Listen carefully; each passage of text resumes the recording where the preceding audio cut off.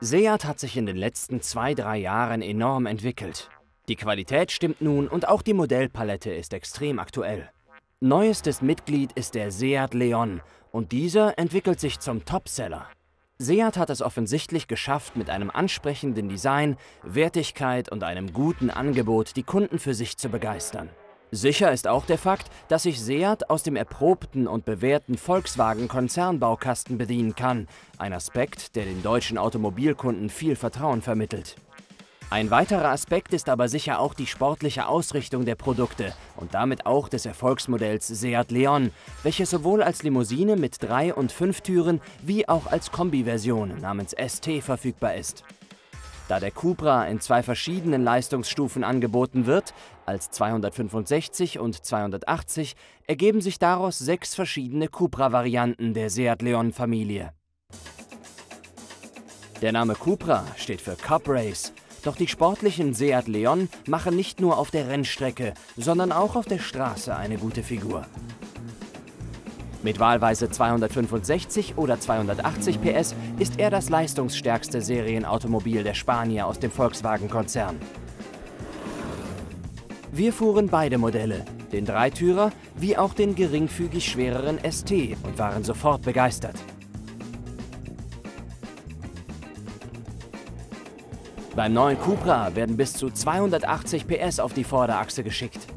Dies war in der Vergangenheit oftmals problematisch, da viele Fahrzeuge mit Kraftübertragung und gleichzeitigen Richtungswechseln durch die Lenkung völlig überfordert waren. Dieser Leon ist aber nicht nur geradeaus schnell, sondern auch in den hoffentlich zahlreichen Kurven. Das liegt nicht zuletzt am verstellbaren Fahrwerk mit Dynamic Chassis Control und an einer verbauten Vorderachsquersperre. Mit der Motor-Fahrwerkskombination sind die Seat-Ingenieure laut eigener Aussage an die Grenze dessen gegangen, was mit einem Frontantrieb machbar ist.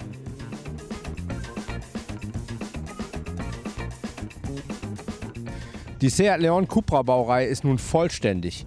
Und zwar, es gibt nun den 280er, es gibt den 260er und es gibt das Fahrzeug eben als Limousine, als Fünftürer bzw. Dreitürer und es gibt das Fahrzeug eben als ST, das ist der Kombi. Und äh, dieses Fahrzeug sucht in seiner Klasse seinesgleichen, denn immerhin hat dieses Auto eine Traktion auf der Vorderachse, die wir von vielen anderen Konkurrenten nicht kennen.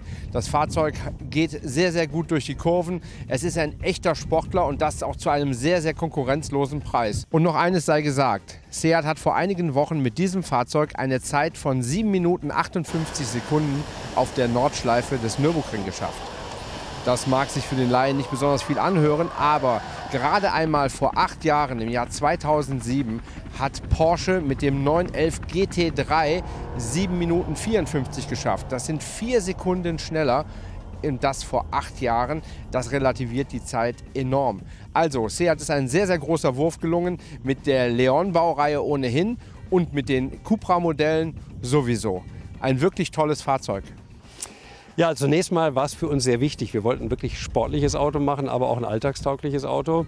Das heißt, der, der neue Leon Cooper ist viel verbindlicher geworden über das dynamische Fahrwerk, über DCC, Dynamic Chassis Control. Kann ich auch sehr komfortabel, was bisher nicht ging, lange Strecken fahren. Aber ich kann, wenn ich das Auto auf Cooper stelle, eben auch richtig sportlich fahren. So, und wie kann man Sportlichkeit besser dokumentieren als über der Zeit äh, auf der letztendlich anspruchsvollsten Rennstrecke der Welt, auf der Nordschleife? Ja, und haben uns als Ziel gesetzt, dass wir da auch ganz vorne sein wollen. Äh, wir sind damals gefahren, die ersten Runden waren wir schon sehr schnell, waren wir dicht an den acht Minuten dran. Und dann über das Performance Pack, was sich ja vor allen Dingen über die anderen Reifen, über die Sportreifen, äh, über die, die Bremsanlage, die Brembo-Bremse, die dann ich sag auch gerade die, die, die Reibwerte der Reifen noch besser ausnutzen kann, kamen wir deutlich unter die acht Minuten. Ganz wichtig dabei ist aber, das Auto ist dabei einfach und schön zu fahren, sehr schön linear lenkt es ein, es lässt sich wunderschön balancieren äh, und bringt aber richtig Freude. Und äh, ja, wir freuen uns da sehr drüber und äh, war ein Stück Arbeit, aber Arbeit, die auch sehr viel Spaß gemacht hat. Wie kein anderes Modell bei uns in der Palette verkörpert der Cupra tatsächlich, wofür Seat steht. Das ist Sportlichkeit, Dynamik, Jugendlichkeit, Design, aber eben auch die deutschen Referenzen, nämlich Qualität, Effizienz. Äh, bei uns kommt immer noch ein wichtiger Faktor dazu, das ist die Zugänglichkeit, Erreichbarkeit. Unsere Fahrzeuge sind eben auch nicht nur anzusehen, sondern auch erwerbbar. Und wir verbinden sozusagen deutsche Ingenieurskunst, Zuverlässigkeit, Qualität mit eben spanischer Leidenschaft und Temperament, was sich bei unseren Autos vor allen Dingen auch im Design widerspiegelt. Und das zeigt sich auch in den neuesten Studien. Wir haben gerade IACS, die wichtigste Service-Studie, zurückbekommen, wo wir sehen, wir sind die Marke, die von Platz 18 auf Platz 4 gestiegen ist, mit dem größten Sprung einer Einzelmarke. Wir haben in den letzten Jahren tatsächlich Marktanteil verdoppelt, von etwa 1,5, 1,6 Prozent auf nun 3 Prozent Marktanteil. Heißt aber auch Volumen verdoppelt. Im letzten Jahr haben wir 93.000 Zulassungen gehabt. Das heißt, wir gehen stramm auf die 100.000 zu. Auf der Rennstrecke macht er eine wirklich gute Figur. In seiner Klasse muss er sich nicht verstecken, denn die Leistung spricht für sich. Lediglich der Konzernbruder Golf R hat mit 300 PS noch mehr Leistung. Das Fahrdynamiksystem ist in allen Modellvarianten zweistufig abschaltbar. In der Cupra-Stellung ist es noch aktiv und hilft noch etwas mehr als komplett abgeschaltet. Der im Herbst 2012 vorgestellte Seat Leon der aktuellen Generation ist schon jetzt ein Bestseller. Das moderne, aber nicht überzogene Design kommt bei den Kunden in Europa an. Offensichtlich ist ein zeitloses Design, gepaart mit einer hohen Fertigungsqualität, der Weg, den Seat gehen muss, um weiterhin in der Erfolgsspur zu fahren. Die Sportsitze im dunkelgrauen Alcantara mit weißen Nähten sind nur den Sportmodellen vorbehalten. Das Sportlenkrad mit unten abgeflachtem Lederkranz ist griffig. Den Cupra gibt es als Fünftürer, als Dreitürer mit 45 mm verkürztem Radstand und als Kombi namens ST. Seat hat also einen neutral agierenden Sportwagen hinbekommen, der wirklich leicht zu beherrschen ist. Hier hilft natürlich die serienmäßige Fahrwerksregelung DCC und die 25 mm tiefere Standhöhe des Cupra sowie die gut dosierbaren 17 Zoll Bremsen. Dies alles ist im Seat Leon Cupra genauso serienmäßig wie die Voll-LED-Scheinwerfer, der Tempomat, die Klimaanlage und das Infotainment-System Seat Media System Plus, bei dem allerdings noch kein Navi dabei ist.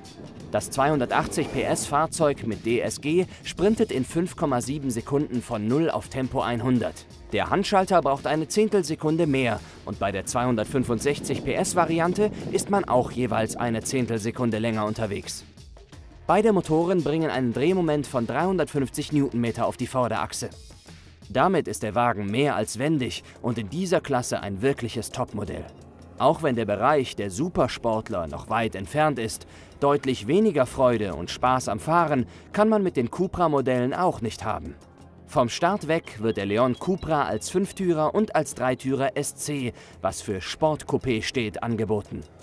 Die Preise beginnen für den Dreitürer bei 30.810 Euro und bei 31.310 Euro für den Fünftürer.